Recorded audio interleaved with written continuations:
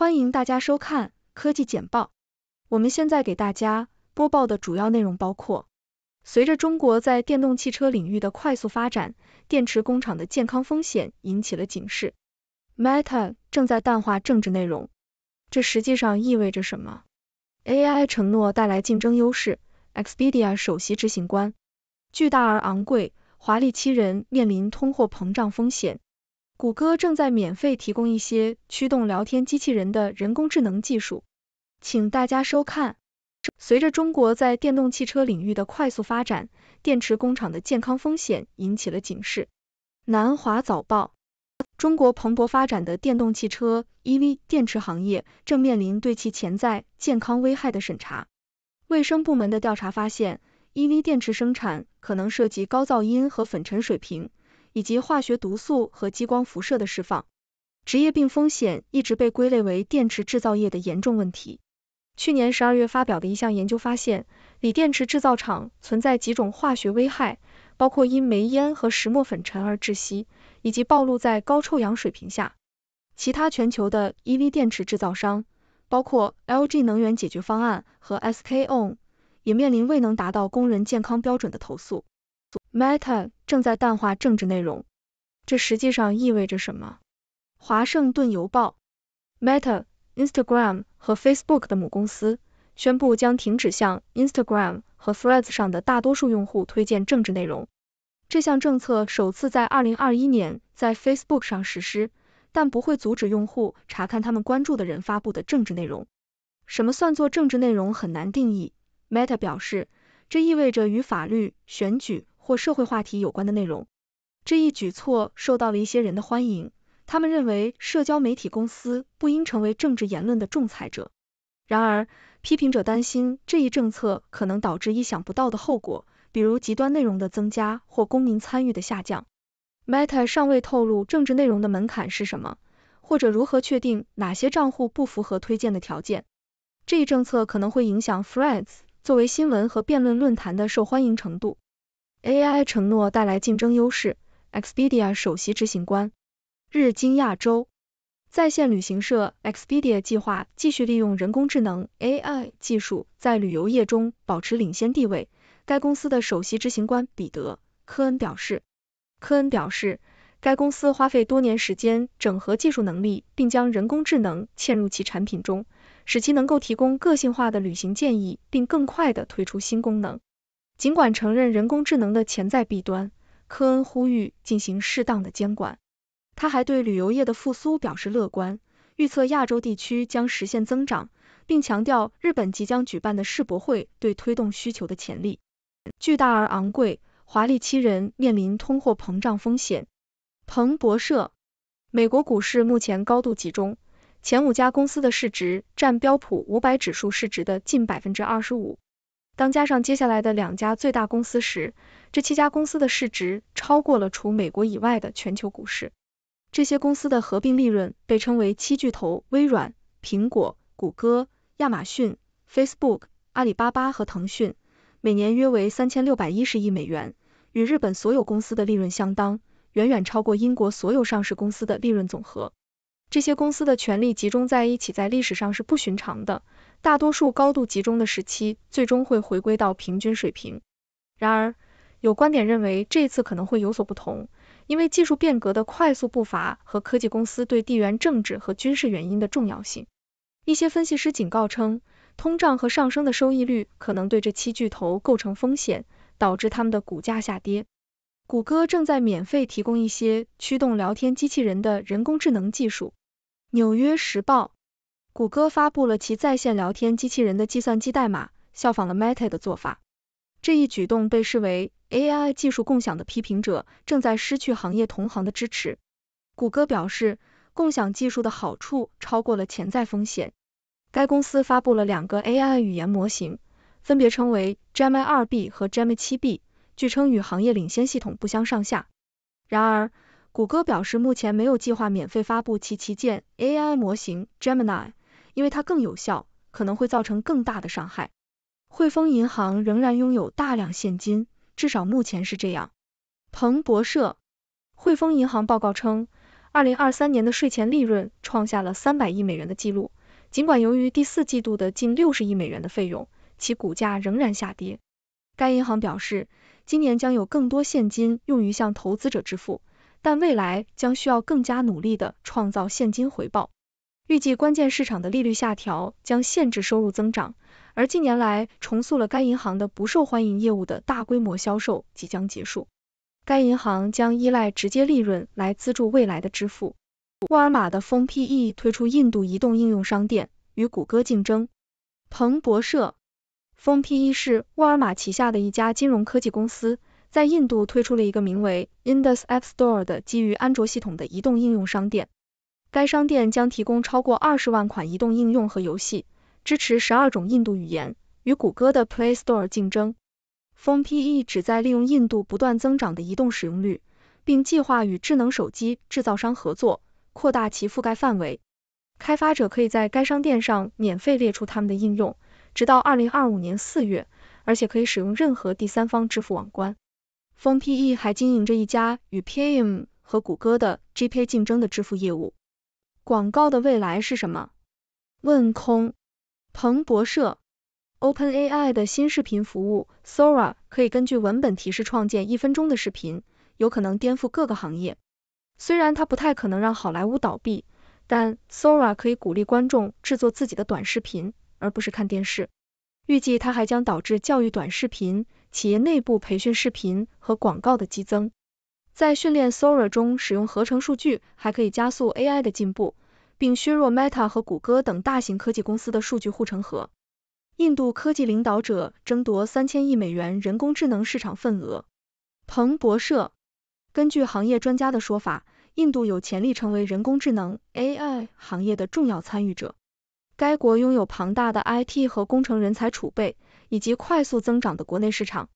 根据 Gartner 的数据，到2027年，全球 AI 软件市场可能价值2970亿美元。然而，印度将不得不应对人工智能发展带来的颠覆性影响。比如呼叫中心和编程岗位的失业问题，以及由于缺乏大型语言生成 AI 模型的培训基础设施而需要构建较小平台的需求。Sora AI 狂潮促使中国金融科技公司宣传优先访问。南华早报，中国金融科技公司信达数据宣布，计划通过微软的 Azure 系统使用 OpenAI 的 Sora 文本到视频工具。这家总部位于北京的公司表示。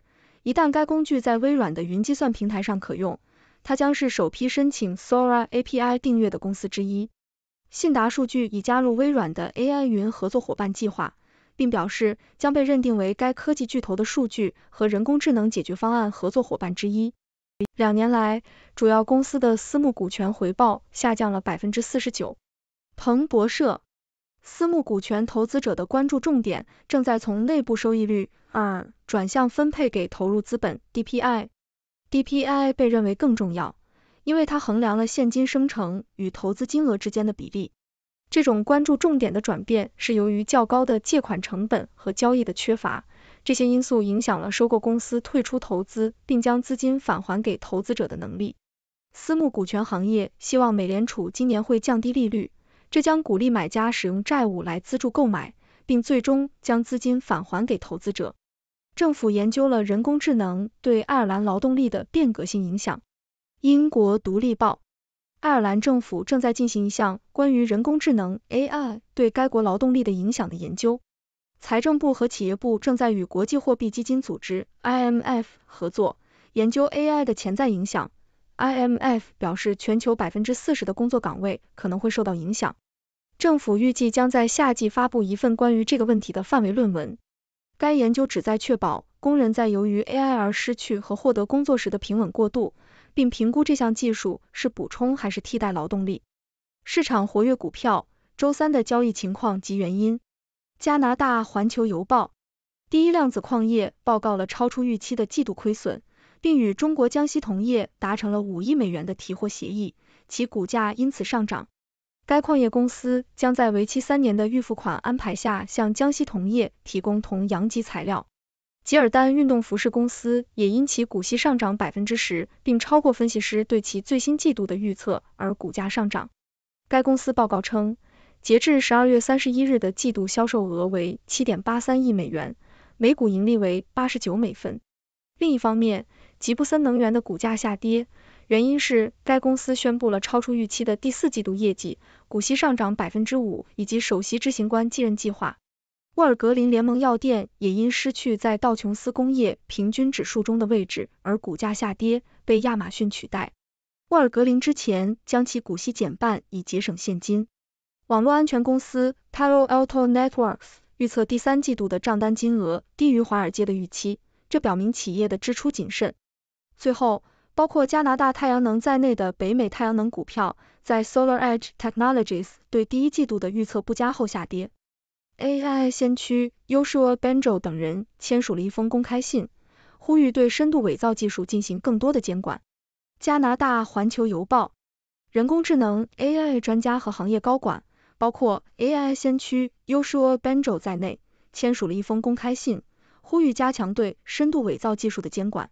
深度伪造技术是由 AI 算法创建的逼真但虚构的图像、音频和视频。这封信建议将深度伪造儿童色情内容定为犯罪行为，对故意制作或传播有害深度伪造内容的个人进行处罚，并要求 AI 公司防止其产品制造有害深度伪造内容。来自各行各业的四百多名个人签署了这封信，其中包括来自谷歌 DeepMind 和 OpenAI 的研究人员。确保 AI 系统不对社会造成伤害一直是监管机构的重点。已经发出了多次关于 AI 风险的警告。随着 Me Too 运动的兴起，日本最大炼油公司的另一名高管因性骚扰被解雇。美联社根据该公司的消息，日本最大炼油公司 ENEOS Holdings 旗下的子公司日本可再生能源公司的负责人因性骚扰问题被解雇。这是 ENEOS 在两年内第三次因性骚扰问题解雇高管。日本在国际性别平等调查中排名较低。受害者经常因为发声而面临批评。各位观众朋友们，大家好，我是来自六度世界的六博士。今天我们看到了一些有趣的新闻。首先，中国电动汽车行业的快速发展带来了一些健康风险，需要引起警惕。电池工厂可能存在噪音、粉尘和化学毒素等问题，这对工人的健康构成了威胁。这也提醒我们。在追求技术进步的同时，不能忽视对工人的保护。另一方面，Meta 公司宣布将停止向 Instagram 和 Threads 上的用户推荐政治内容。这一举措引起了一些争议。一方面，有人认为社交媒体公司不应成为政治言论的仲裁者；另一方面，也有人担心这可能导致极端内容的增加或公民参与的下降。无论如何，这一政策都将对社交媒体平台上的内容产生一定的影响。此外，人工智能在旅游业中的应用也引起了关注。在线旅行社 Expedia 计划利用人工智能技术提供个性化的旅行建议，并加快推出新功能。当然，人工智能的发展也需要适当的监管，以避免潜在的问题。在股市方面，我们看到一些公司的股价上涨或下跌，这些变动往往与公司的业绩。决策或行业趋势有关，例如沃尔玛的 Phone PE 推出了一个移动应用商店，与谷歌竞争，这可能对公司的股价产生积极影响。而私募股权投资者的回报率下降，谷歌免费提供人工智能技术等因素，可能对股价产生负面影响。最后，我想提醒大家，人工智能技术的发展带来了很多机会，但也需要我们保持警惕。例如，深度伪造技术的滥用可能对社会造成伤害，因此需要加强监管。同时，我们也应该关注性骚扰等社会问题，并努力创造一个平等和尊重的工作环境。以上就是今天的新闻总结，我希望大家喜欢。如果你有什么想法或问题，欢迎在下方留言，我们一起来讨论吧。谢谢您的收看。上面播报的内容是六度团队推荐的全球专业媒体智库。政府机构和行业专家的最新报道、分析简报，更详细的内容，请大家去这些媒体智库的网站阅读。这些内容并不一定反映六度简报的立场，亦不能作为任何决策的建议。六度团队由专业媒体人、学者、科学家组成的独立新型媒体，大家可以根据自己的专业要求订阅各种简报。网址是六 dobrief 点 com。您在世界任何地方都可以通过电邮收到六度简报。